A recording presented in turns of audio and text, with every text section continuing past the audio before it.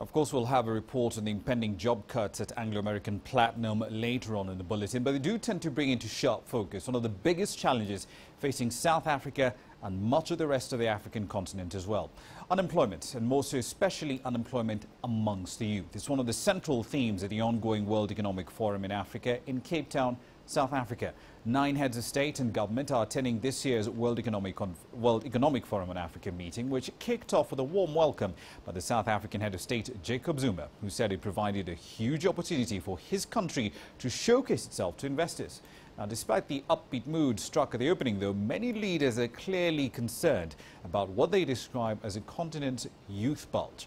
Young people aged between 15 and 25 represent more than 60% of the continent's entire population and they account for 45% of the total labour force. Addressing unemployment among this enormous segment clearly is one of the main issues being discussed at the forum. CCTV's Sumitra Nydoo is in Cape Town. She filed this report.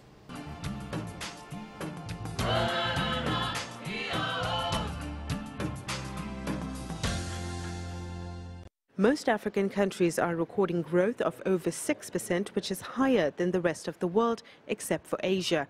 But poverty and unemployment is rising on the continent, and the discontent is growing.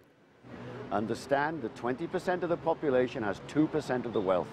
The difference in earnings between a CEO and the average wage in this country is, is almost 300 times more.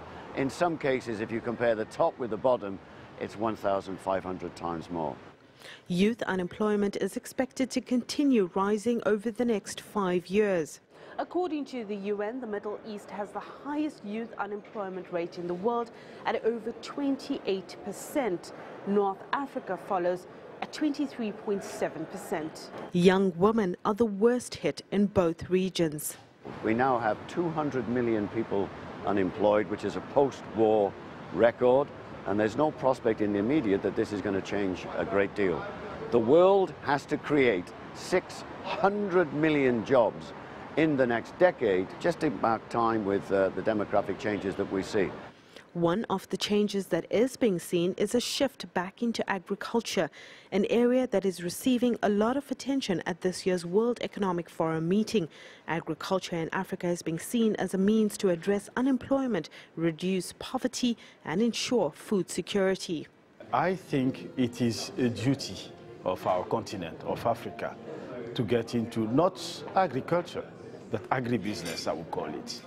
Because agriculture, what we've been calling agriculture, should be seen as a business. That is, people should be able to make money out of it and at the same time feed the world. You see, the world is going through urbanization. A lot of people are leaving the countryside. Who is going to feed all those people living in the cities? Africa currently has more than 60% of the unused arable land. It's an information that is known.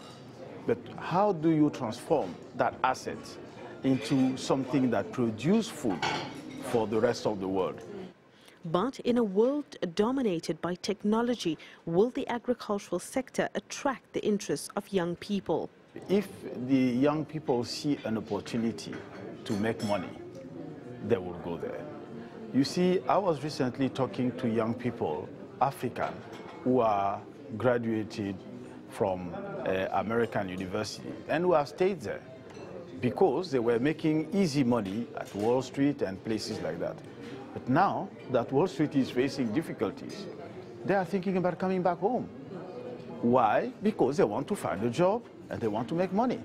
So if we are able, and we should work towards that, to make agriculture or agribusiness attractive for people to make money.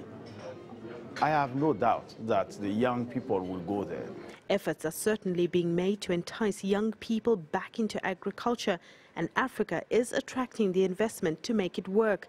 USAID, the Agency for International Development, has joined the African Development Bank and the Swedish government to launch the Agriculture Fast Track Fund here at the WEF meeting in Cape Town. The fund is the first of its kind that will encourage greater private investment in agriculture infrastructure projects in sub-Saharan Africa. Sumitra Nydoo, CCTV, Cape Town.